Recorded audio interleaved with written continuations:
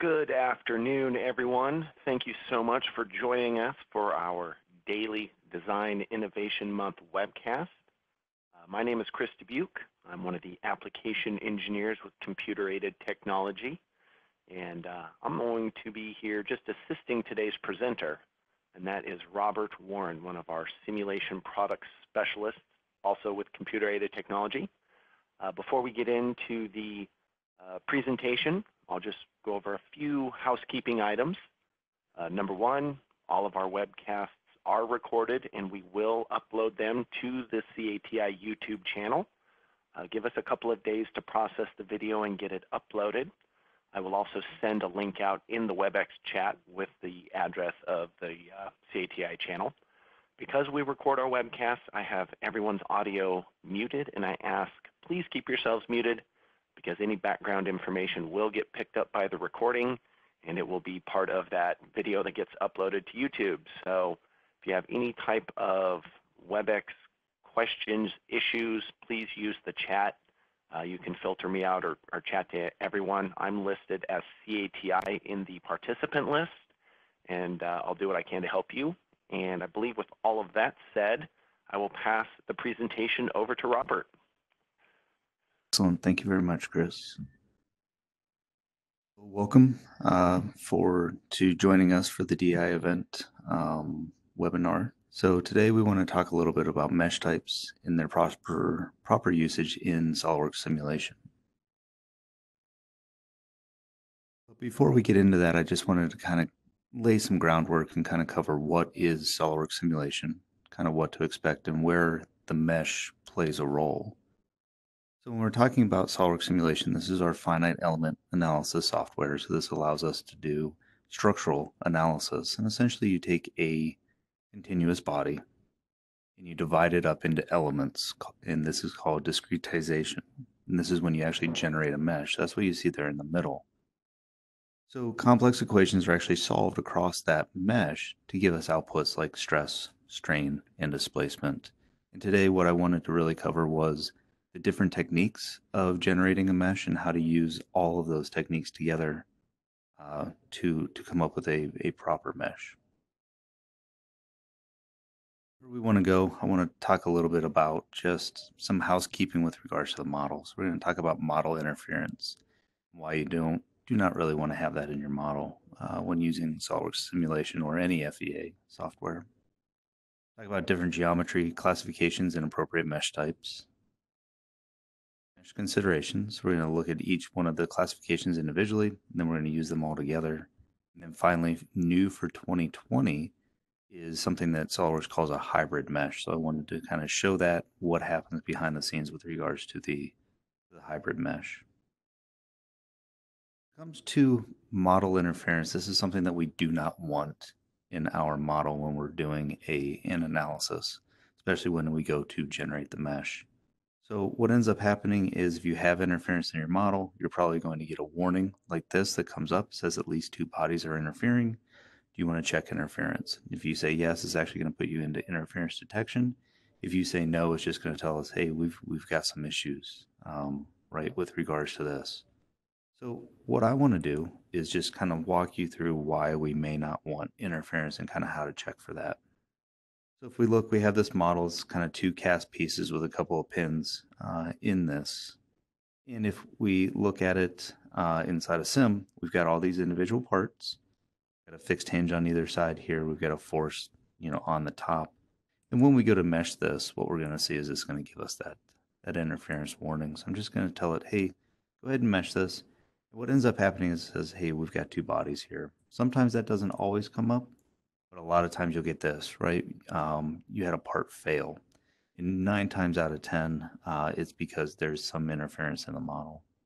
So if we want to, we can say yes, check for interference. It's going to come up and say, hey, we had some, some uh, mesh creation failure. And it talks about refining some of those areas, maybe looking at mesh failure diagnostics. But if we say OK there, it takes us into the interference detection. This is the same interference detection that's under evaluate.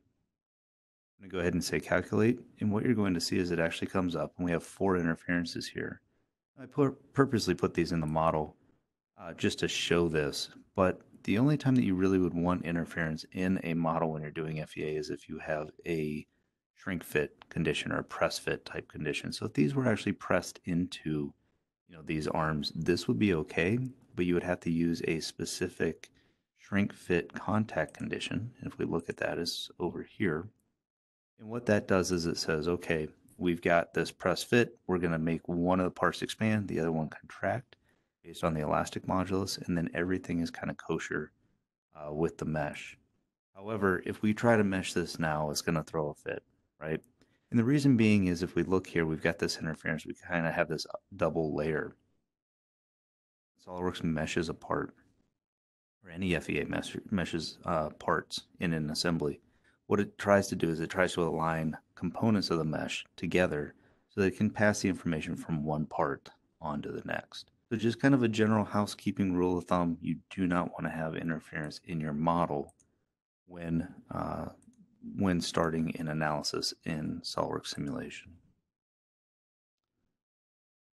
So with that kind of in place, let's go ahead and look at different geometry classifications and the appropriate meshes uh, that go along with those. So the first one is going to be what we would call as bulky. So geometry that has a width, length, and height that are very similar uh, in, in size. And when you generate a mesh or you discretize a bulky uh, piece of geometry, um, oh, let me take a step back. So we have bulky, and then we have thin. So thin is something more along the lines of like sheet metal, um, you know, maybe a pane of glass, uh, maybe a really thin, you know, um, piece of aluminum, like a sheeting of aluminum. That would be thin uh, geometry, and thin has a thickness or a width that's very small in comparison to the length or the height. And then the third classification of, of geometry that SOLIDWORKS looks at is a beam, so SOLIDWORKS simulation. So this would be anything that was created with a weldment uh, structure. So any I-beams, C-channels, anything that has a constant cross-section. So when SOLIDWORKS looks at geometry, when you generate that, it doesn't matter how you generate it. When you get into SOLIDWORKS simulation, Simulation looks at these three types and then classifies the geometry from there. With regards to bulky, this is the first place or the first stop that we're going to go. So think of it like a brick. So width, length, and height are very similar. And what ends up happening is this generates a solid element. It's called a tetrahedral element. So it's this um, tetrahedral shape and is linked by these edges. And at the corners of those edges are things that are called nodes. And this is essentially where the calculation takes place. So for a draft quality element, it has corner nodes. So in the corners of the element, that's where the calculation takes place. So if you imagine that you fix those bottom spheres or those bottom nodes, and you put a force to the left on that top node, what would end up happening is all the edges of the element would move and they would move in a very linear fashion, right? High quality elements add something that's called as mid-side nodes. And mid-side nodes allows that edge to essentially bend.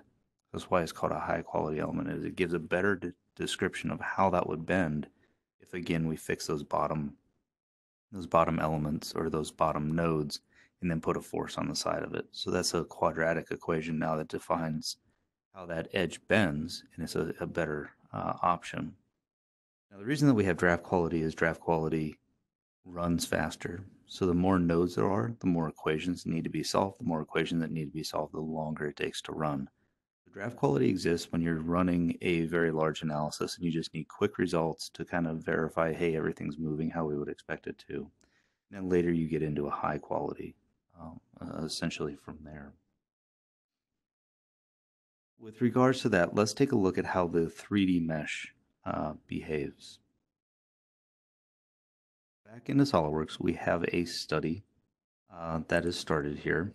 And with this, again, we have our parts. We have uh, our four parts.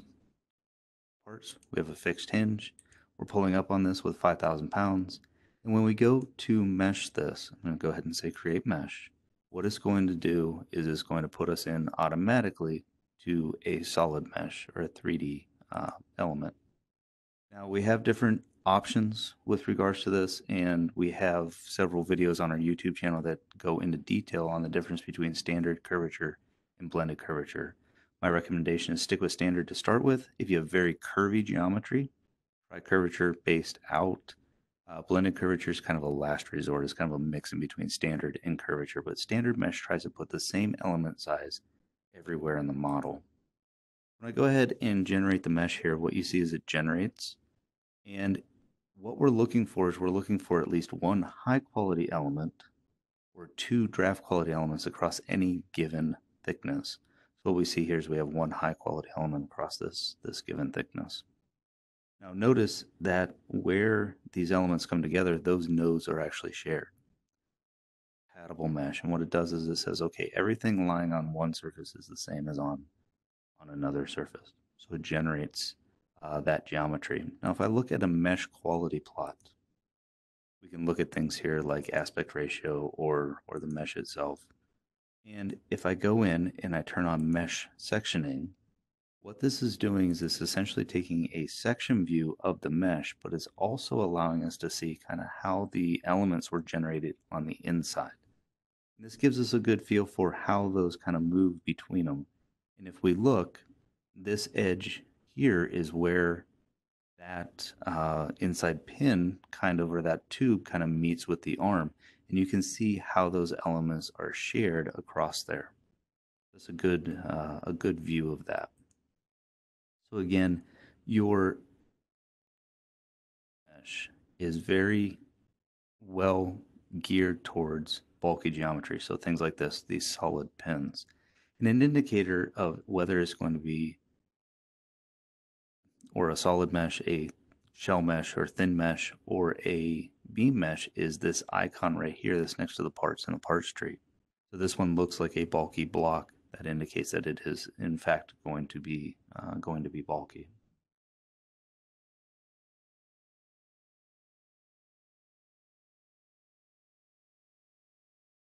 Next uh, geometry type that we looked at was the thin uh, geometry. So a thickness that is drastically different than the length or the height. And again, this is really geared towards sheet metal, um, you know, real thin sheeting that you might be using, panes of glass, um, you know, cardboard boxes, things, things along those lines. Now, when you're talking about thin geometry, SOLIDWORKS uses what is called a shell mesh. And a shell mesh, very similar to a A tetrahedral or a solid mesh has a draft quality that has corner nodes and a high quality which has mid-side nodes. The difference here is it is a single thickness. You virtually tell the software how thick the part is and it understands that across uh, the given thickness. Let's take a look at how a shell mesh behaves. So the first thing that I want to look at here is I actually have a sheet metal part. Um, you know, has a given thickness with regards to this. And if I were to mesh this as a solid, which I have already done, what you're going to see here is we're going to end up with a, a decent amount of nodal points uh, with regards to this. And, and the reason for that is, right, I want roughly two cells, in this case it's one cell across that given thickness, right, as a high quality element. And if we right click on the mesh, we can look at the details of that mesh and it gives us an idea of how many nodes are in are in the mesh itself. And this out here. So we're looking at about 40,361 nodes. Now with respect to that, that's actually 120,000 equations that are being solved because every node carries with it three degrees of freedom. Now if we look at this and we look at the results, so let's say the uh, displacement result with regards to this, I've got a side load pushing in on it. I've got it fixed at the top and we're seeing 0.062 inches of displacement. And that's with a solid mesh and a pretty refined uh, solid mesh. Uh, just to kind of give you a comparison here. Now, again, this is a single part, but we can look at the solver messages. And with the solver messages here, it ran in two seconds. So that's still very quick. And I understand it's a single part. But what I want to do is I want to show you the comparison as doing this as a shell. Now, one of the benefits of sheet metal inside SOLIDWORKS and SOLIDWORKS simulation is because it's automatically generated as a shell. So you see this icon here, it no longer looks like that bulky block. It looks like a bent part. And the indicator there is that this is now a shell mesh. If we edit the definition of this, we can see that the thickness actually carried over from the sheet metal part. So we do not have to define that, but this is where we can define, you know, if we manually create a sheet metal part, which we'll do here in a minute, or a shell mesh, uh, which we'll do here in a minute, this is where you can assign that. Now, the other thing with this is if I show the mesh, it's going to look drastically different than before, right? This is a very thin piece of geometry. It, it's essentially a surface, it's a mid-surface. The other thing is if I look at the details of the mesh, we went from 40,000, right, on the solid mesh uh, number of nodes to now 12,746. So this is should solve faster than the solid mesh. If we look at displacement, we can see our displacement is 0.062, so almost dead on what it was with the solid mesh. And if we look at the summary with regards to the solver messages, it's solved in one second. So again, it's a single part. It's not that big, but you can see it was a one second difference. You can imagine on a lot larger part how that would drastically affect this or even in an assembly. So that's a sheet metal example. That's one way of getting a shell uh, entity. I have another example, and what this is, is it's a kitchen faucet. I'm going to go ahead and look at this, you know, on a cross section, just kind of discuss it a little bit. And, you know, how this was created with was a series of uh, revolves and sweeps and things like that to kind of come up with this geometry. But it is very, very thin. So one of the things that we can do is we can actually create the shell by the geometry right inside of Sim. So if we go back into the simulation study, you can see that this is actually generated as a solid. It's coming up as a solid. To put two uh, cells across that given thickness or even one high quality cell, we're going to make that cell count really large. Uh, the nodal count will go up even more. And that's really not the best way to solve this. So one of the things that you can do is if you right click on the solid body, you can say define shell by selected faces. Now there's a couple things that come along with this. One is notice it puts us exactly into where we were before with regards to um, the sheet metal component. But here we're actually giving it a thickness. In this case, it's one millimeter thick. When I'm going to come down here. I, I kind of cheated a little bit. Everything is tangent, so I'm going to select that outside face so it picks up everything.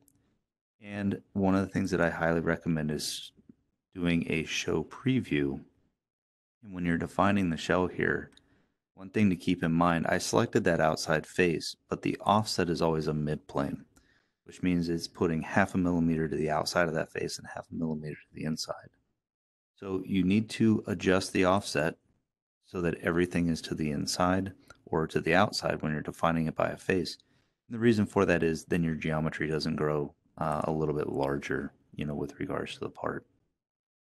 From there, we now have our shell defined um, we can go ahead and create the mesh for this. And what you're going to see is when we uh, generate the mesh, we now have that thin uh, section for the mesh itself. When you go ahead and apply the loads, the key to this is that you apply the loads to the face that generated the shell. Okay. So because I picked the outside face, that's where I want to put my load. That's where I want to put my fixture. Those are two ways that you can go in and generate shell geometry or thin geometry uh, with regards to the model. The third type of geometry is the beam uh, element. And with regards to this, SOLIDWORKS looks at it using the beam equations. So the, the equations that we're used to using in uh, or doing by hand, that's what you're going to see here with the beam equations and in, in the beam geometry inside of simulation. Now what this does is it generates a beam element and that runs down the neutral axis of the beam. So it really is just nodes, so points in space connected by an edge. And that's something that's very hard to see on the screen. So how that's represented is actually represented when it meshes as a cylinder. And that's what we kind of want to want to look at uh, with regards to this. If I go back into SOLIDWORKS, we have geometry that was created using a weldment. So for the weldment, right, we have an underlying sketch. Uh, you come up to your weldments command and we put a, a, structural member across that sketch. Automatically trims in areas that we need it. Well, what that does is that actually lets lends itself to use as beam elements inside of simulation. So what we see here is we see a number of these and they all look like I-beams and that's the indicator that SOLIDWORKS automatically brought this in as a beam element. You don't have to solve this as a beam element if it came over that way because that's how it was generated in SOLIDWORKS. You simply can just right click and say treat as solid and then it puts you into a solid mesh.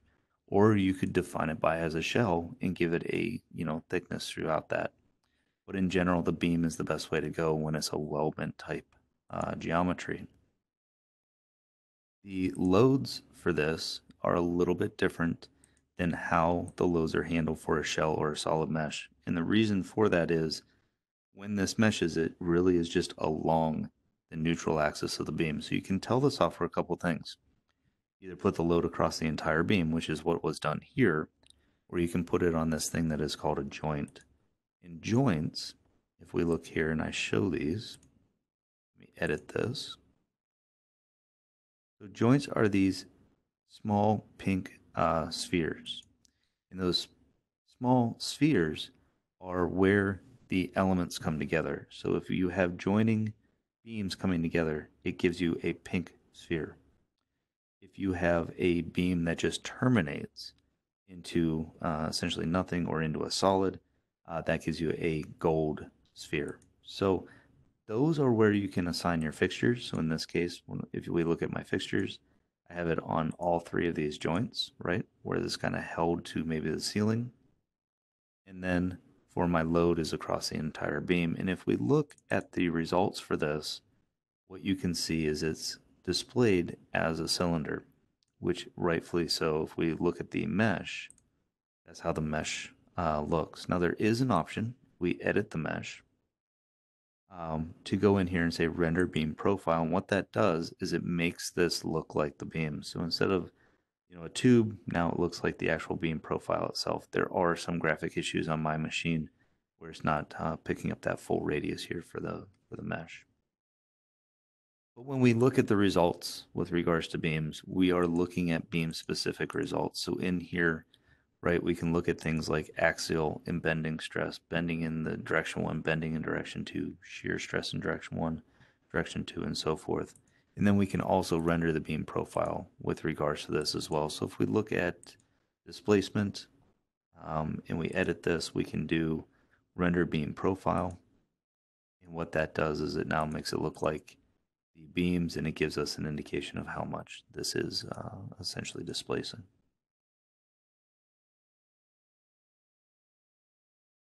At all three different types of geometry, the appropriate meshes that go along with those, but rarely do we ever have an all beam case or an all shell case or an all uh, solid mesh type case.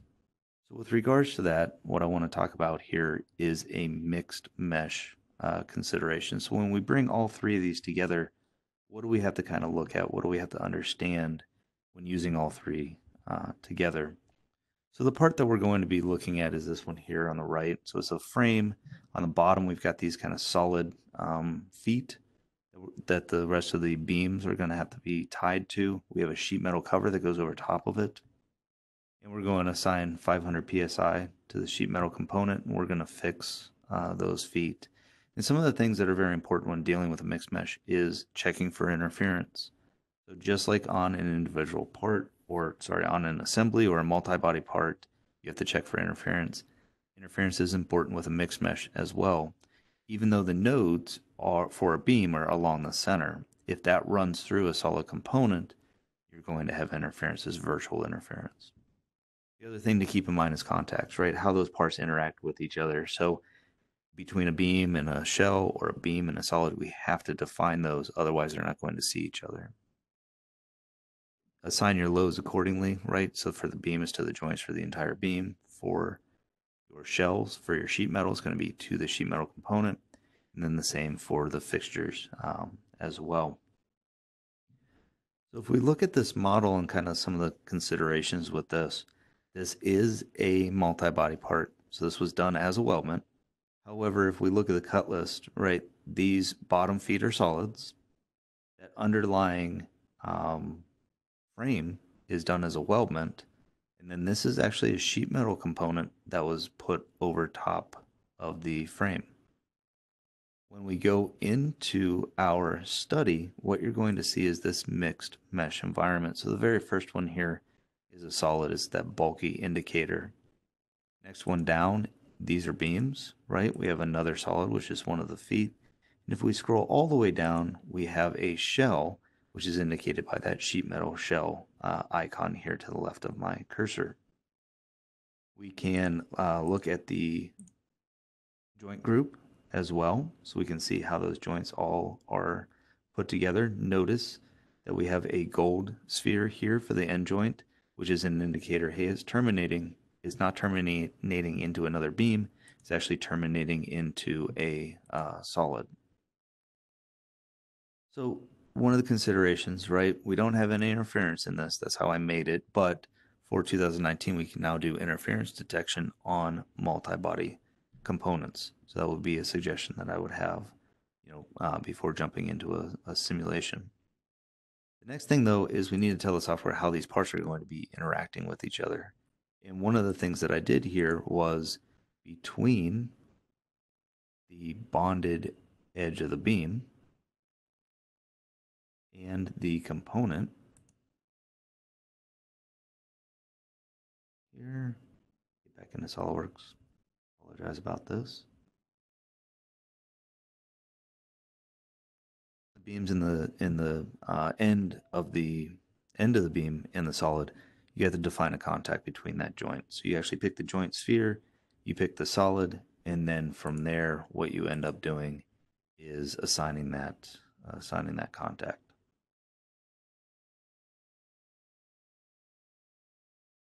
This loads here, we'll take a look at that. Right here, so I did a bonded contact between the end joint and the face of the solid. So I did that for all four of those.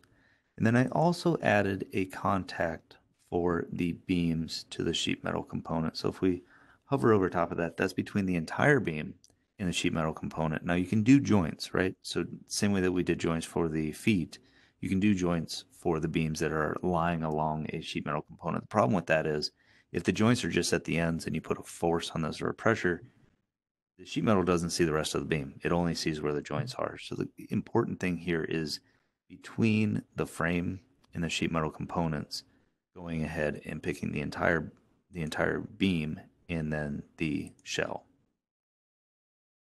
Uh, fixtures were added to the feet, so those were done at the bolt holes, right? Actually, to the bottom of the face. And then a pressure was assigned uh, to the top face of this. Now, if we look at the mesh, let me show the mesh on this. A mixed mesh. So we can see these components were meshed as a solid. We have the beam elements of the uh, structure. And then we also have the shell elements of the sheet metal Contacts are important. No interference is important. How the loads are applied is very important. When it comes to looking at stress, displacement, with regards to stress, you can look at two sets of results.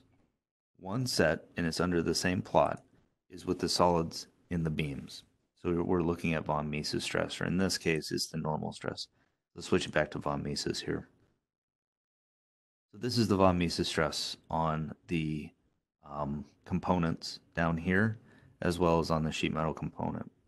Notice that the beam profile, even though we are only really meshing that end point, is transferred, right? So that profile of the beam is actually transferred to the solid. It's also transferred to the sheet metal component, and you can see that because this is actually bending down and around where those beams are. So SOLIDWORKS does a, a good job of taking that into consideration and understanding, you know, the, how those profiles are are relayed. Now, with regards to beams, if we turn that on, we can see axial bending, shear, stress on those components. So you're really looking at two sets of results when you're doing a mixed mesh, the ones for the beams and then the ones for the solids and the shells. Now, unlike stress, with regards to displacement, Displacement is the same whether you're looking at shells, solids, or beams. And in this case, what we see here is the overall resultant displacement of the components.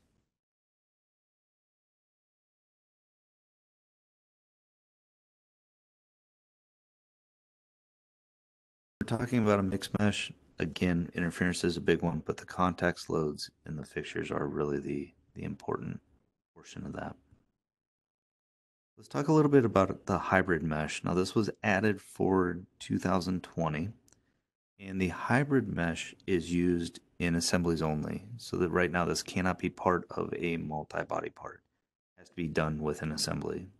It reduces the number of, of degrees of freedom, and by doing that, what we're able to do is actually assign draft quality meshes to certain parts and high quality meshes to other parts. Um, on the actual display itself, on the screen, what you'll see is whatever is draft quality is actually going to show up with an orange outline to the mesh. Whatever is high quality is going to show up with a blue outline to the mesh. The other aspect of it is those little pyramid shapes, and they're actually triangles, um, actually they're pyramids even with the shells. Those are the indicators of whether or not they're high or draft as well. So if we look here, the ones that kind of have a squiggly edge, those are an indicator that ha- that that has a midside node. Anything with the sharp edge, right, the linear edge, that is a draft quality. What I want to do is kind of show you that in a model here and actually talk a little bit about a consideration that's happening behind the scenes that you don't have to worry about, which actually makes it pretty nice. Here is a fairly simple model, just a block and then another part kind of looks like an S. I just wanted to make sure I had some uh, you know different shape that was assigned. So if we come in here and we look, we see this indicator with both of these has the kind of squiggly edges. So that's indicating that both parts are high quality, it means that they have mid-side nodes. What I did was I fixed the bottom face. I put a 100 pound force pushing down on the top of this. And if we look at the mesh, so let me show the mesh here, it's all showing up in blue, which is an indicator it's all uh, a high quality mesh. The other thing is, and this happens by uh, default, is these are compatible. Remember I said essentially between the two parts they're mapped together. Well, what I'm going to do here is I'm actually going to hide one of these. Then I'm going to hide my mesh and show it. And what this will show you is how those are mapped. So if I kind of look at this and I kind of zoom in on it, you can see the outline of that S shape. What that means is every node that's on the bottom face of the S is the same as the node and element on the top face of this block. Consideration when you're doing a high quality mesh is generally by default that is um, what we call is compatible what that means is that it shares between those two.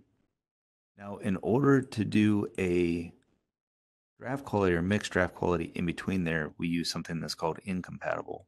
And incompatible means that the two parts don't really match up mesh wise, but they do have an algorithm behind the scenes that allows the force to transfer from one component to another. So if we look here at the displacement, right, uh, it's quite a bit of zeros. It's not a lot of force for these steel components. They're fairly thick. We can see the displacement, uh, right, of that guy. Now, for the draft quality, all that I did was I right-clicked on the component and I said apply as draft quality. In this case, because it is draft quality, it's saying apply as high quality. Select on the individual part and say, or group of parts and say apply as draft quality or apply as high quality. And again, this becomes a hybrid mesh as soon as you do that. Now, let me show you the mesh. So anything that is in orange, again, is draft quality. Anything that is in blue is high quality. The difference with this, and let me hide that S-shaped uh, part again. Let me hide the mesh. The mesh what you're going to see is there's no overlay. There's no shared nodes between the two. So this incompatible um, algorithm that takes place behind the scenes that allows the two parts to essentially be meshed independently, that gets turned on automatically when you make one of the parts uh, draft quality versus high quality. So I just kind of wanted to show you that and show you that that was uh, what was happening behind the scenes. So let's go ahead and look at the results here and what we can see is they're very, very similar results, right? A bunch of zeros and a two. So with regards to how accurate between the hybrid mesh, which is using draft quality and high quality in between, and then using uh, all high quality, the results are very, very similar, right? We've got a, a good history of using that bonded um, mortar bonded algorithm that allows us to transfer from incompatible components. The nice thing here is if you have a really large assembly, let's say you have a trailer and you're really, really only concerned with the subframe, a couple of components on the subframe, but you really need the whole trailer to do maybe like a twist analysis. The nice thing is the bulk of the geometry can be done as a draft quality, right? We're still going to get a displacement output. You're still going to be able to twist the trailer, but you really are only concerned with a couple of the cross members in the subframe. Those are what you would do as a high quality. Going to keep your nodal count down. It's going to allow it to run a lot faster and really give you a good, um, good output as far as the you know stress, strain, and displacement. So that was new for 2020 these indicators, right, beside the components of high quality or draft quality, as well as the fact that the dra- the meshes now is either all blue or all orange or a little bit of both. So that was new for 2020. So just kind of wrap up here, kind of what we went over. Bulky geometry, again, that's your solid geometry, relies on a tetrahedral mesh, and those can be in a draft or high quality. Your thin geometry uh, relies on a shell mesh. Um, and again, that's just one surface. That comes in a high quality and draft quality element as well. And your beam mesh relies on essentially a, or your beam elements or your weldment components rely on a beam mesh uh, to do that. And those have nodal points that lie along the neutral axis of the beam itself. Those only come in one quality. Really, 99% of the problems that are out there uh, that I've seen that I've worked on that you know I've seen from customers as well, they are a, a true mixed mesh environment. So what that means is using beams, shells, and solids, this bulky, thin, uh, and beam, you know, weldment type geometry together to get an efficient mesh and, and accurate results out of that. And again, the biggest thing with that is the contacts, how the parts interact, and properly assigning the forces and loads uh, with regards to that. So that is looking at the different types of meshes, how to utilize those for your different pieces of geometry. And I thank you for attending the webinar. Uh, thank you very much, Robert. Really appreciate that. Uh, I don't know about you, but personally, I love the new hybrid meshing in 2020. I think that's going to be one of those super, super useful uh, enhancements. Uh, thank you to, to all the attendees